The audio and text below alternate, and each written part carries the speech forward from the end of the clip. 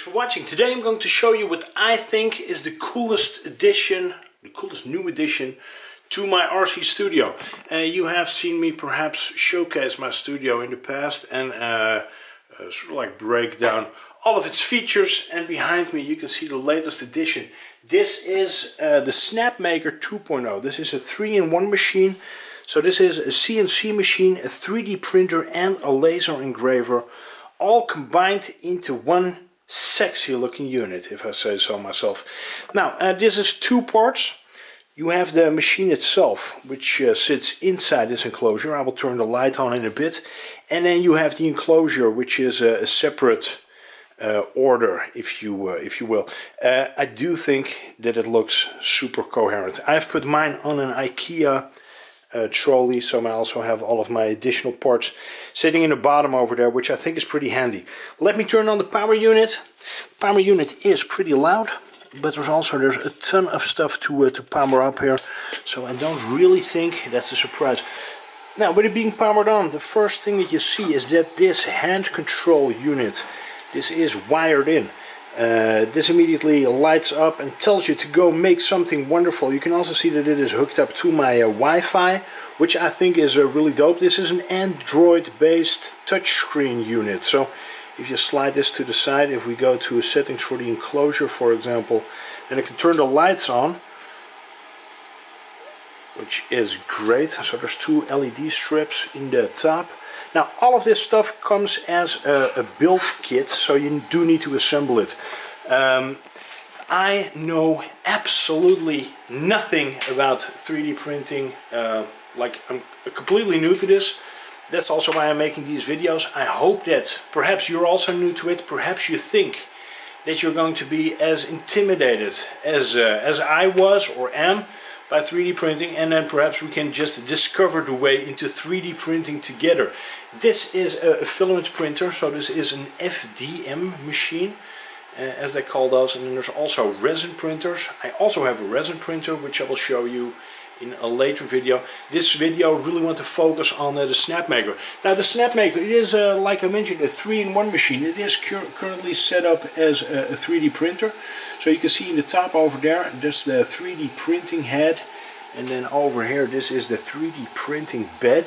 If you want to do something else with this machine, so for example, you want a CNC machine or you want to laser engrave or laser cut something, you change out the head over here, so that uh, unit right there, which is really simple, four screws from the back, and you change out the bed. Now changing out the bed is a tiny bit more complicated. There's a magnetic mat on this uh, 3D printer bed and below that you see there's 20 something screws that you need to take out in order to uh, to change that base of course if you want to CNC machine something you would replace this with a waste board I'll make sure that you see that one as well and if you want a laser cut there's like an, uh, an additional different uh, working surface that you mount to this uh, plate to this base plate uh, in order to go get your laser engraving or laser cutting going if we go over the main base, the main base of this uh, Snapmaker 2.0 is something that does not change.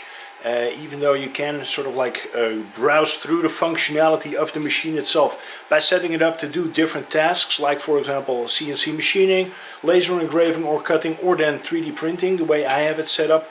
Uh, the base stays the same constantly. So I will just show you the main items of the base and also you will go to some close-ups of me assembling the machine this thing comes so well packaged, it is really a joy to build and also the instructions are very clear. This is not a complicated build at all if you just uh, take your time, really take your time to have like plenty of nerdgasms to put this thing together. Uh, you can do this within a day and that's the machine plus the enclosure. If you just need to assemble the machine, set aside one morning and you are good to go. Let's dive into it and see what it actually has and does. This cast aluminum uh, base plate, this is what you start out with. And then from there you kind of build the machine up to what you see over here. So the main part of course with uh, any of these uh, 3D machines are uh, the X axis, the Y axis and the Z axis. So the X sits over here, the Y sits there and the Z, that is the one that uh, goes in the height uh, so there's two y-axes uh, two z-axes and one x-axis if that uh, makes any sense. Now all of these are identical so these five axes, these five linear modules are completely the same. Uh, that also makes it really easy to not mix them up when you're assembling it. These are also very clean looking industrial uh, strength or industrially engineered units. So this type of uh, linear module that you see here, usually you would find this in a way more expensive, way more complicated machine. So the motors are integrated inside of those uh, aluminum profiles. The opening is uh, guarded by this stainless strip so no debris can come inside of this uh, linear module. And then inside sits a large screw that uh, guides the position of where the unit sends, one. this case the printer head, but in the case of this z-axis where it puts the x-axis. So I hope that makes uh, sense. Now wiring all of this up is really simple actually because what you do for those uh, double modules so there's uh, of course there's two over here and there's two vertical you just plug those into one of these uh, converters so this is kind of a reversed splitter. So you put two cables in one comes out same goes for this one. And after that you plug all of that into this unit right here which is called the controller. Now there's plenty of stuff here that you can plug in but you can tell that there's also still some open room. Uh, Snapmaker is constantly innovating this machine and improving it. So now, for example, they have released a rotation module which you can put on this bed which would allow you to uh, CNC machine over four axes instead of over three. Inside of this controller you will find that you can plug in your uh, printer head which uh, goes in the very top over there but also your heated bed. So this printer bed, this is heated uh, again, this magnetic piece, this comes off, but you can set the temperature for this printer bed uh, according to what you're printing with. So for example, for a PLA, which is a type of a printer filament, you would need a different temperature than for example ABS or for a PETG. I'm not sure if people say PETG or PETG. But all of that stuff is really easy to dial in using this uh, handheld uh, controller this touchscreen that you find on the front. I can't emphasize enough how much fun it was to assemble this thing. Not just the machine itself, but also its uh, enclosure. The Snapmaker, they offer this thing, uh, this 2.0 in three different sizes. This is the largest one, so this is what they call the A350. I believe that the uh, obtainable size that you can get out of this printer is 320 millimeters, 350 millimeters, 320 millimeters. They also have an A250 and they also have an A150. So there's plenty of options depending of course on how much space you have available and what you want to do with this printer. Uh, if I want to print, for example, an entire RC car body, I can just go ahead and do that with this uh, Snapmaker 2.0. Now when you have everything built and you are basically good to go, apart from uh, uh, understanding the software, which we will get into in a tiny bit, is calibrate the bed. So what you need to do is you press this, it will automatically run a calibration process to make sure that everything on here is level and flat. The only thing you need to adjust uh, in the end is the height from your printer nozzle towards your bed. Uh, apart from that, this thing does everything for you. I think that covers for most part the Snapmaker 2.0, the working unit. Um, what I also do want to talk about is the enclosure. Now the enclosure, like I mentioned, it is an option. Usually on your uh, Snapmaker 2.0 you would have on one of these Z-axes in the back you would have a little bracket with uh, a holder for your uh, spool so for your filament. In my case because I'm running the enclosure I had to move the spool uh, to the outside which I don't think is a bad thing. It will make it really easy to change things out in case you are printing with uh, the doors closed. What printing with the doors closed what it also allows me to do is uh, opening doors. If I want to go to uh, the carpentry workshop or go outside without distorting anything or causing too large deviations in a printing or bed temperature, which I think is fairly important.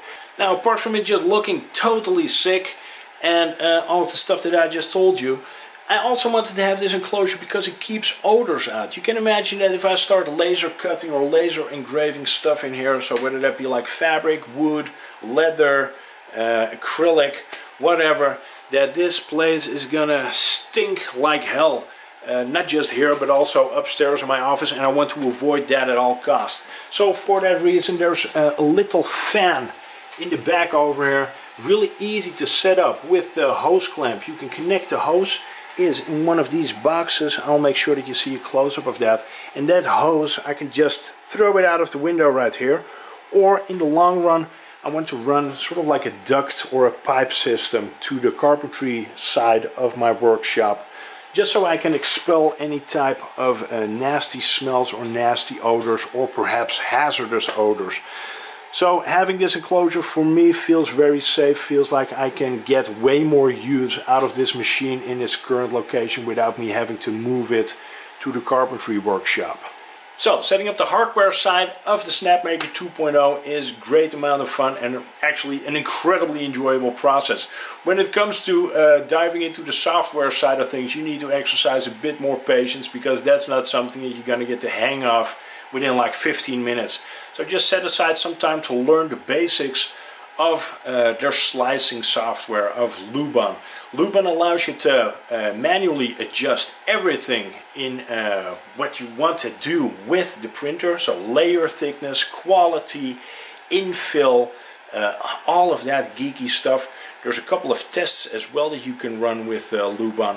I will show you uh, a few in this video and in the next video we will go to printing some actual usable parts using My Mini Factory. My Mini Factory is uh, a 3D file library. It is only high-end files like for example from Knight Customs, from RC Nerds, those type of files that you can uh, purchase there for a really reasonable amount of money and if you have a 3D printer like I currently have you can just sit at home in your RC workshop and you can print parts while you do other stuff. Like for example, film a video, paint a body or whatever, unbox a car even. Uh, doesn't really matter. So seeing that uh, my mini factory has such uh, an amount of great files available that are all usable for our uh, hobby niche I think is uh, fantastic. Luban also has a quick link to my mini factory so you can just dive into those files, grab those if you don't feel like drawing anything yourself, which is something that I might look into in uh, the future. A little footnote about Luban. If you run into any type of issues, Snapmaker has a great online community both on Facebook and both on uh, forums that you can enter uh, with your questions so in case you do run into uh, some type of snag it is really easy to sort that out with uh, other people, with other users that have perhaps run into the same issue. Now, one of the most exciting things that I think I'm going to tell you is that you can win one of those machines. Uh, how? Really super low entry level. Just go check out the link in the video description box which goes to my mini factory.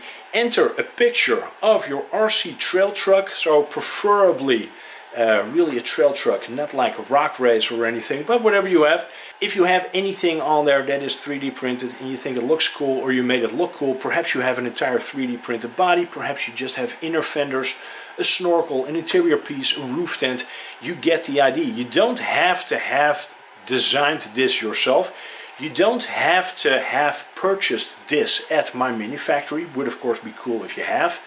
Uh, it just needs to be 3D printed and you need to use it on your RC truck or car. We want to see it. Enter that. We will pick some people that uh, we're going to highlight in a couple of weekly episodes uh, in which we're going to sort of like browse through a contest. It will be like a knockout system and then eventually in the grand finale you will be able to win a Snapmaker 2.0. So I think that's great. So don't hesitate, go check out the link in the video description box to see how you can enter, uh, fill in the form as well just so we know completely what you are about, what your truck is about, what parts you used and how you did it and then maybe you will see your truck appear in one of my future videos. In the next video we will really get into printing some useful stuff for my RC trucks and uh, I don't want to make this video too lengthy. I hope this gives you a good idea of what the Snapmaker 2.0 is about and also why I chose to also go with this uh, enclosure. Uh, I am really giddy to putting this machine to some weekly use. So I'm going to be printing a ton of stuff with it just because I have so many ideas and I have so many parts that I want to have and that I want to obtain and right now finally I have it all at the tip of my finger which is really cool.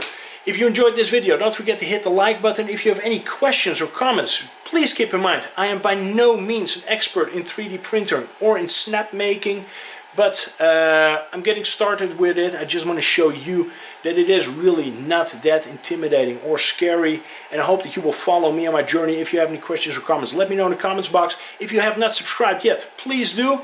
Really helps the channel and uh, ring the bell so you get updates. Check out all of the links in the video description box and I will hopefully see you in the next video. Take care. Bye-bye. Back on.